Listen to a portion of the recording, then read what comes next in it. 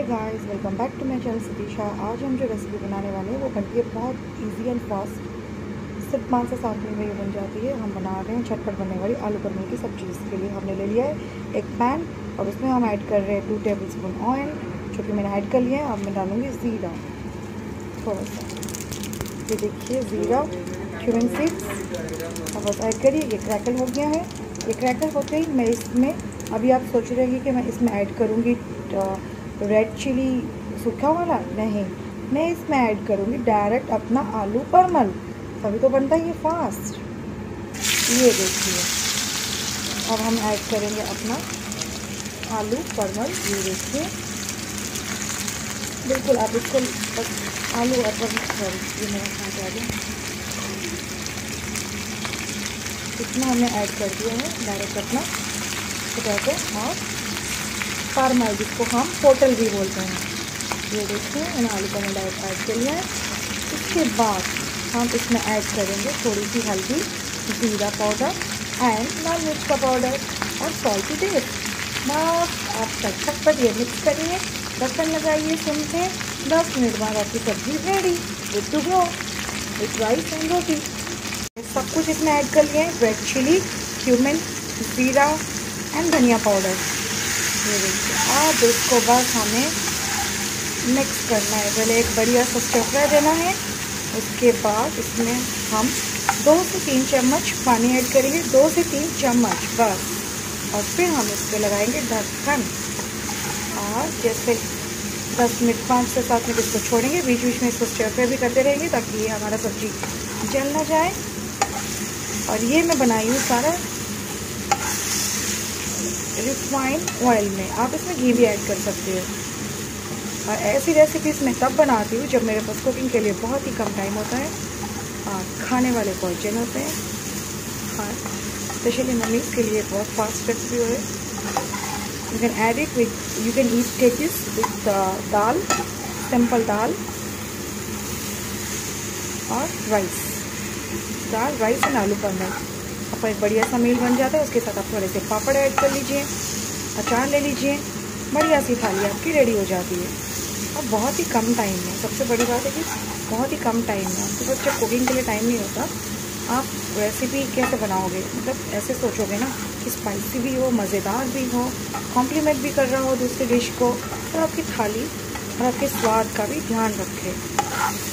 तो है ना ये मज़ेदार recipe rice do like and subscribe my channel, comment if you like the recipe, like hit the like button and press the bell icon for notification, more notification. मैं आपको ऐसी झटपट मज़ेदार रेसिपीज़ ऐड करती रहूँगी अपने चैनल में और आप इसको देखिए और एंटरटेन होइए और बनाइएगा भी उन पास मम्मियों के लिए जिनके पास टाइम नहीं है और उन मम्मियों के लिए भी जिनके पास टाइम है पर वो सारा दिन कुकिंग करके टाइम निकाल देती है इससे आपके लिए भी थोड़ा सा अपना मी टाइम निकल जाएगा। ये देखिए।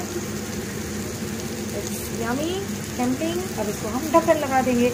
बस two to three tablespoon पानी ऐड करेंगे ताकि हमारा मसाला जले ना और बस उसको कवर कर देंगे। थोड़ा सा बस हल्का सा, बस हल्का सा पानी ऐड करिए ताकि हमारा मसाला जले ना और सब्ज़ी बिल्कुल ही पक जाए। ये स्पेशली मैं थर्सडेज को बनाती हूँ, जब हमारा प्याज लहसुन हम नहीं खाते हैं। ये देखिए। ये हमारा रेसिपी बस इसको अब ढक्कन लगा देंगे और सिम पे 10 मिनट के लिए छोड़ देंगे। ये देखिए रेसिपी हमारी ऐसी हो गई है। पानी सारा ड्राई हो गया है और बिल्कुल वेजिटेबल्स हमारे करारे क्रंची बन के बढ़िया से जूसी बिल्कुल, ये देखिए, कितना